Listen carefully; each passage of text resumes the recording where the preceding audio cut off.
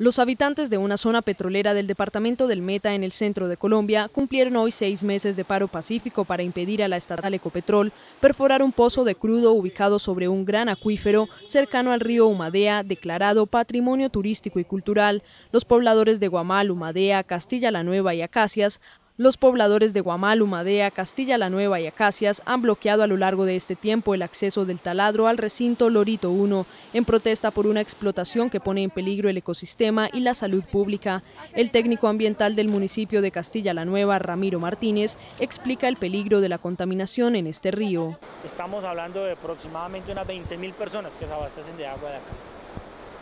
Sería peligrosísimo para el desarrollo de, de la región contaminar ese acuífero.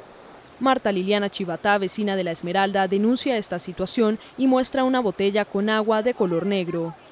El ganado se está muriendo, abortan, el humano también viene a pescar. Las personas que no saben de esto, que está contaminado, vienen a pescar y ellos se comen el pescado así contaminado. Desde hace seis meses, los habitantes de esta zona aguardan cada día el agua potable que los bomberos llevan en cisternas pagadas por Ecopetrol, después de que, según ellos, fueran contaminados 58 pozos. Por su parte, el gerente regional de Ecopetrol en el Meta, Edgar Paternina, aseguró que las aguas no tienen hidrocarburos y que lo que se ve como fluido negro es agua con algas que se generan en la zona del vertido. Nancy Semanate, vecina de Castilla la Nueva, habla del bloqueo.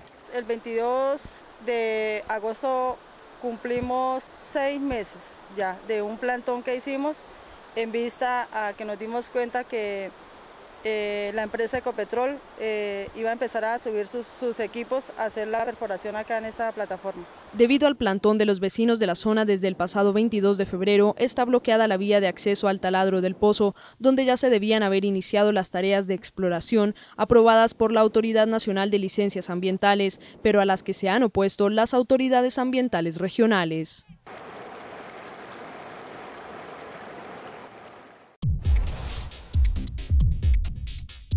elmundo.com